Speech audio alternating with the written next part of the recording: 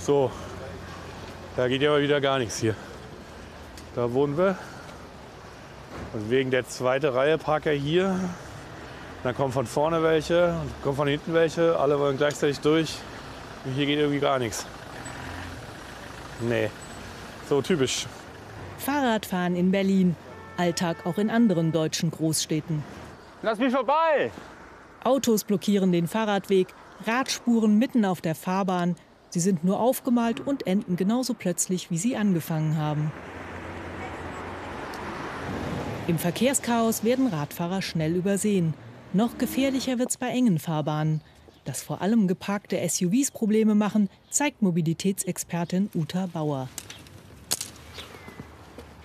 Die sind ungefähr 30 Zentimeter breiter als jetzt äh, so ein Auto. So dass diese Autos nicht mehr in normale Garagen kommen, weil die zu klein sind und dass die Autos dann eben bevorzugt einfach auf der Straße geparkt werden. Die verbrauchen Platz enorm und vor allen Dingen, sie werden ja immer mehr. Es sind ja nicht wenige, sondern in so Vierteln, gutbürgerlichen Wohnvierteln nimmt das zu. Das heißt, sie nehmen auch die Fahrbahn, also die Fahrbahn wird immer schmaler.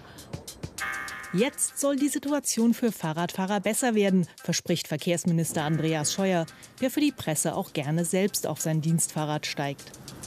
Ich bin der Fan natürlich äh, von den neuen Möglichkeiten der urbanen Mobilität. Und ich teste halt sehr gern alles. Ja? Sonst ja eher als autofreundlich bekannt, will er jetzt etwas für die Radfahrer tun, die Straßenverkehrsordnung ändern. Neu ein striktes Halteverbot für Autos auf Radwegen und beim Überholen von Rädern müssen sie zukünftig einen Mindestabstand von 1,50 Meter einhalten. Auch spezielle Fahrradzonen soll es geben, ähnlich den Tempo-30-Zonen. Ach, und jetzt kommen ja noch die E-Scooter. Sowas fährt der Minister auch. Ab Juli sind die E-Roller dann auch auf deutschen Radwegen und Straßen erlaubt. In Paris gibt es sie schon länger. Praktisch, aber nicht ungefährlich. Für Fußgänger ist das vielleicht gefährlich, aber für uns doch auch. Man kann hinfallen und sich wehtun oder gar vor ein Auto kommen. Ich fahre immer nur auf den Bürgersteigen.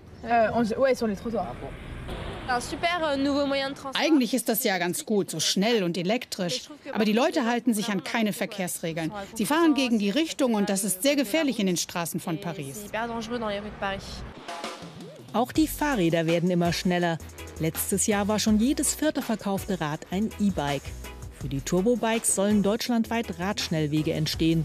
Bisher gibt es aber nur wenige. Vorzeigeprojekt der Ruhrschnellweg, kurz RS1, bisher gebaut zwischen Mülheim und Essen, soll aber mal von Duisburg quer durchs Ruhrgebiet bis nach Hamm reichen. Vier Meter breit, guter Bodenbelag, sowas kommt an. Großartig. Unerwartet. Ich bin früher mal nach Essen gefahren, da kannte ich die Strecken nicht. Äh, ich dachte, ich überlebe es nicht. Und man ist viel schneller, weil es keine Ampeln gibt. Ne? Also das ist für mich auch nochmal wichtig. Ich bin echt schneller jetzt bei der Arbeit als zuvor. Ein guter Anfang. Bis Deutschland fahrradfreundlich richtig kann, dauert es aber noch.